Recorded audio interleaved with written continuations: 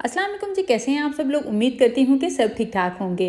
आज मैं आप लोगों के साथ बहुत ही आसान और मुफीद टिप्स आप लोगों के साथ, बहुत सिंपल से टिप्स हैं जो आप लोगों के साथ शेयर करने वाली हूँ और आपके लोगों के ये बहुत काम आएँगी ताकि आपको जब भी कभी अगर कोई इनमें से मसला हो तो आप आसानी से इन टिप्स को जो है वो इस्तेमाल कर सकते हैं।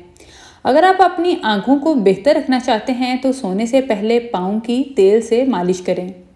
अगर आपके बाल कमज़ोर हैं तो प्याज का रस निकाल कर बालों में लगाएँ और आधे घंटे बाद शैम्पू से धो लें। अगर आपको शदीद खांसी और गले में दर्द है तो एक चम्मच शहद और एक चम्मच अदरक का रस मिक्स करके सोते वक्त पी लें। इंशाल्लाह तीन दिन में ही आप जो है वो फ़र्क देखेंगे। माहवारी का दर्द और जिस्मानी कमज़ोरी की दोनों सूरतों में आप क्या करेंगे कि एक गिलास दूध में आप तीन से चार खजूरें उबाल कर पी लें। गैस, तेजाबियत और दिल ख़राब होने की सूरत में आप फौरी आराम के लिए एक कप पानी में चंद पत्ते पुदीने उबाल कर पिए। सर का दर्द माइग्रेन होने की सूरत में आप सुबह खाली पेट एक सेब काट कर खा लें। इवन जो ग्रीन एप्पल होता है, सबज सेब होता है, उसकी स्मेल भी आपके सर दर्द में बहुत जो है वो हेल्प करती है।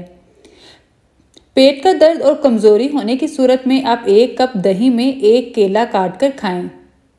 बदलते मौसम में नज़ला ज़ुकाम से हिफाजत। एक कप गर्म पानी में चंद कतरे लीमू और चम, एक चम्मच जो है वो शहद डालकर पी लें। इसे नज़ला ज़ुकाम दूर किया जा सकता है। इसके अलावा जोशांदा का इस्तेमाल भी नज़ला ज़ुकाम दूर करने के लिए सबसे बेहतरीन तरीका है। जब नज़ला ज़ुकाम हो तो दूध में हल्दी थोड़ा सा अदरक का रस और चुटकी भर पिसी मिर्च मिलाकर पी लें। तो इससे भी नज़ला ज़ुकाम में खासा फ़र्क पड़ जाता है। आप दोनों में से कोई भी तरीका इस्तेमाल कर सकते हैं। फालतू चर्बी पिघलाने का हैरत अंगेज टोटका। दोपहर और रात के खाने के बाद एक काश लहसुन की खा लें। इनशाला बड़ी तेज़ी से वज़न कम होगा। लहसुन का इस्तेमाल ब्लड प्रेशर और कोलेस्ट्रॉल को भी कम करता है। काले चने का शोरबा। काले चने का गर्मा गर्म भाप उठता शोरबा रोज़ाना शाम चार बजे एक कप पी लें। सिर्फ़ ये आपने ये शोरबा पीना है, चने नहीं खाने हैं और साथ रोटी भी नहीं लेनी है। काले चने का शोरबा दमा, शुगर और जिस्मानी कमज़ोरी के लिए, ख़ासतौर पर जिस्मानी कमज़ोरी के लिए हैरत अंगेज़ इलाज है। मुँह के छालों के लिए। सफ़ेद जीरा मुँह में रखकर चबाना और लाभ थूकते रहना मुँह के छालों के लिए मुफीद है। स्ट्रॉबेरी का इस्तेमाल ख़वान के लिए। स्ट्रॉबेरी का इस्तेमाल ख़वान के जिसम में निस्वानी हार्मोन की सतह बढ़ाता है, जिसके नतीजे में ख़वान के चेहरे पर इजाफी बालों जैसी शिकायत का खात्मा होता है। इसके अलावा ये हाइपर पिगमेंटेशन का मसला हल करती है। डेड स्किन सेल्स के लिए, डार्क स्पॉट्स के लिए भी बहुत अच्छी है।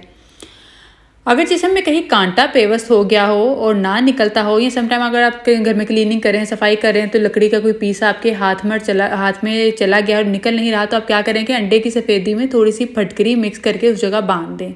थोड़ी ही देर में वो निकल आएगा। और आज की रेमेडीज़ में से कौन सी रेमेडी आपको अच्छी लगी, मुझे कमेंट करके ज़रूर बताइएगा। मजीद टिप्स और रेमेडीज़ के आप चैनल को सब्सक्राइब कर लीजिए वीडियो को लाइक करें प्यारे प्यारे कमेंट्स करें। शुक्रिया।